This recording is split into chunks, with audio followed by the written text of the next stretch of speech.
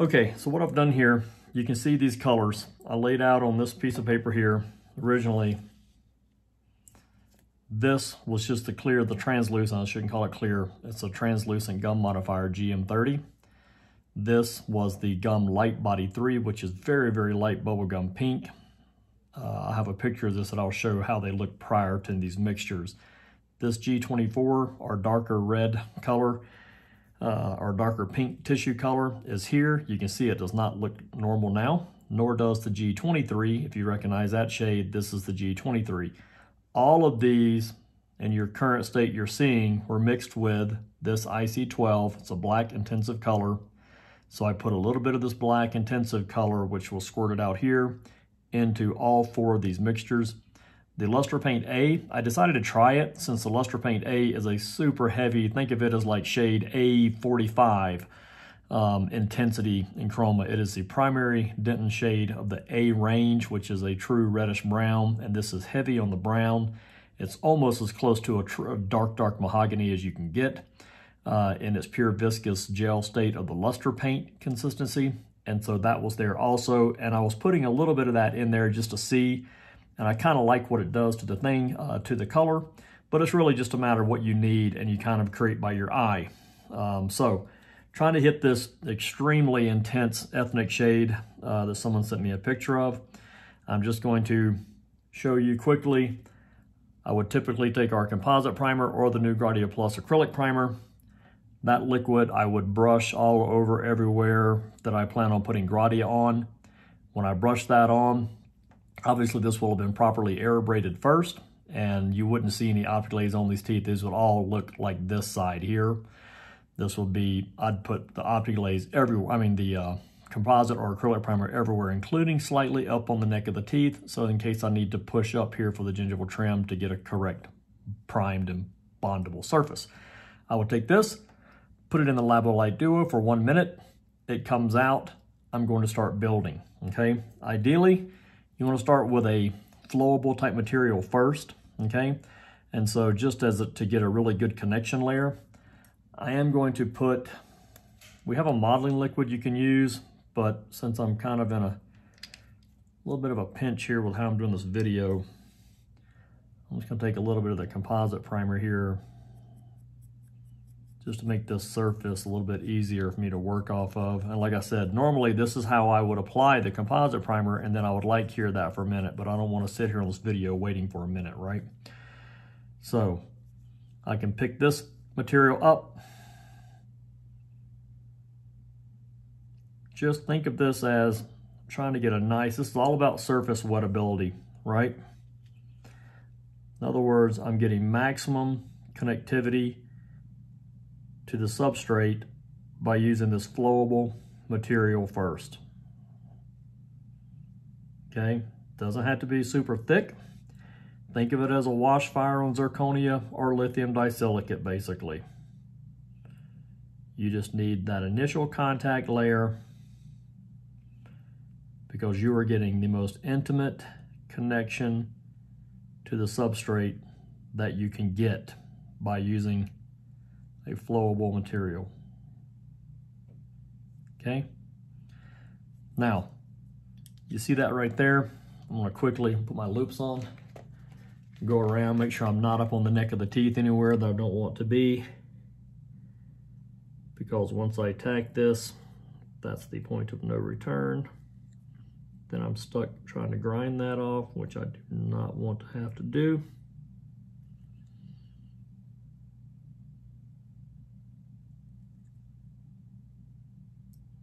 Going around. These are the Gradia Plus instruments that Smile Line designs. Uh, this is their instrument.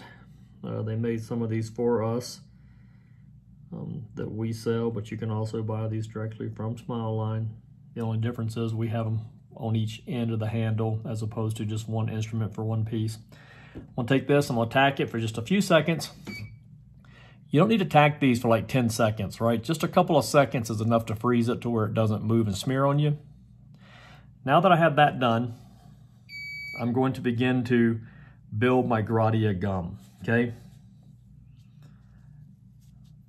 This case, has a pretty intense shading to it. Um, it's like uh, our heavy color shade on steroids, basically.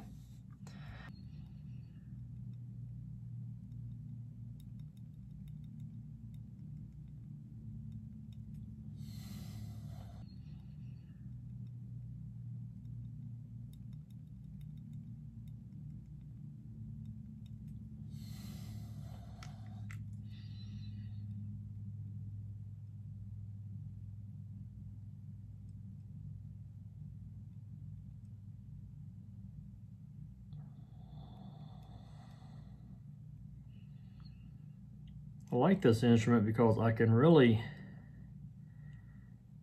do a fair amount with it. Um,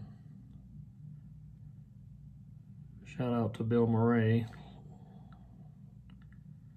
for being the first person I saw that had this instrument. The composite doesn't stick to it. Well, it's just a really, really nice instrument you can see here how I'm able to kind of push and almost like pull and drag material around with this instrument. I'm gonna stop right there. Again, go back to my smile line instrument. Remember, it's always important to maintain control of that gingival trim before you tack it. Because even just a mere two second tack, you're stuck with this material on your teeth at that point. You cannot remove it even before it's final cured. You're just stuck with it. So I'm always gonna go through there, kind of look down through this way too. This is kind of on here smoothly, but I like where I'm at. So I'm gonna tack it. Again, this doesn't take 10 seconds. It only takes these few seconds you saw me just do, right? And look at this. See how I'm touching this? Surface is live and ready to be added to continue the build, but it's not, uh, not uh, cured on. So you only need those few seconds to get that tacked. So because this patient is very challenging, kind of wanted to see, and I can tell you already I don't think I'm going to get the intensity that I need from that. I think I'm going to need to use just the straight black and brown modifiers. Because what I want to do is just come in here and just kind of punch some color in here and then lay over that with either some clear.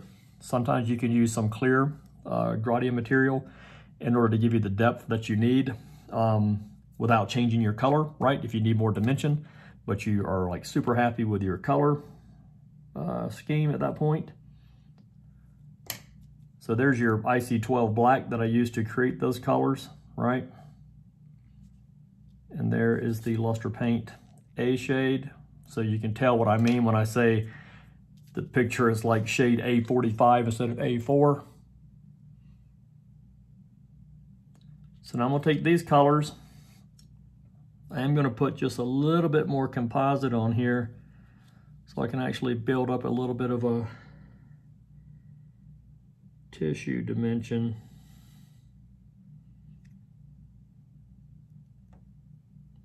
Remember, some people struggle with the paste when you first start using it because they you cut it off the tube. I call it like a log material. Um, if you have keep your hands really clean, I roll it between my finger and thumb. And that will, uh, it allows me to really, it's a combination of thing, the friction of pressure plus my uh, heat from my fingers softens it up. I do like this little brush too. This is simply a craft brush. The key is very short, very stiff bristles. I use this mainly for doing some blending. Like if these were two totally different shades that I was trying to blend in together. I like this because you see how I'm punching and dragging.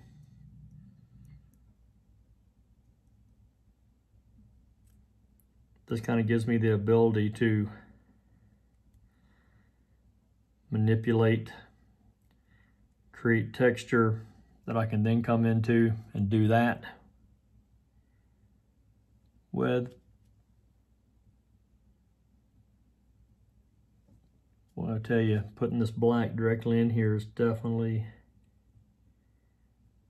what this particular case is going to need.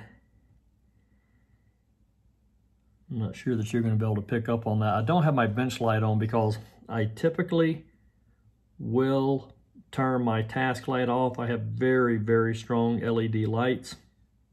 And I have found that, uh, well, partly because I'm slow, um, but I have found that it will set my uh, composite up just a little bit on me, on my, on my uh, working surfaces. and I don't mean set them up like cure them, but it can it can affect the consistency of my material if I let my task light from my bench um, remain on. So again, all I'm doing here is trying to reestablish my gingival trim. See that little spot there that got away from me? Now I've got no choice but to grind that off later. like to look at this from various angles, just like when you're waxing a denture, right?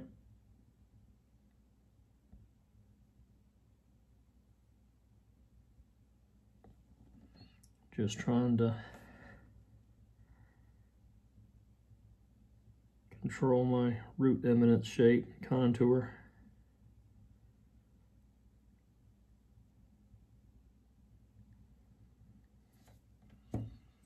When that's starting to look pretty close to the right shade, I will tell you. I've got a lot more to go on that, uh, on punching in that um, intense dark coloration. But I tell you, that's, uh, and this patient had pretty heavy, and I do mean heavy, um, tissue texture here. So that's key is when you get that texture punched in to go ahead and obviously tack that. And I can go real heavy here because I know I'm going to add more material. I'm to tack that for a couple of seconds. Okay, and we're back. And at this point, I'm pretty darn happy with everything. I just need to start putting my coloration in. I do want to try some of this brown this this A, I shouldn't call it brown, but that's really what it is. If you can see this.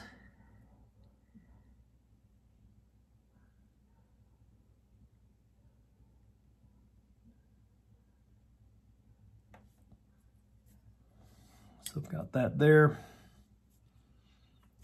It's time for a little bit more of the IC12.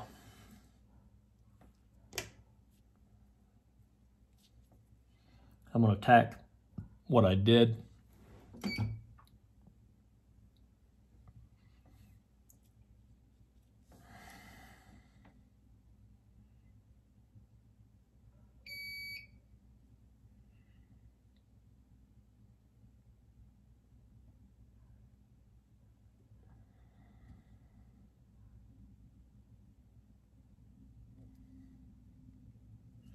Now at this point, I am going to go ahead and turn my task light on. I just want to, one, I need to be able to see the colors at this point.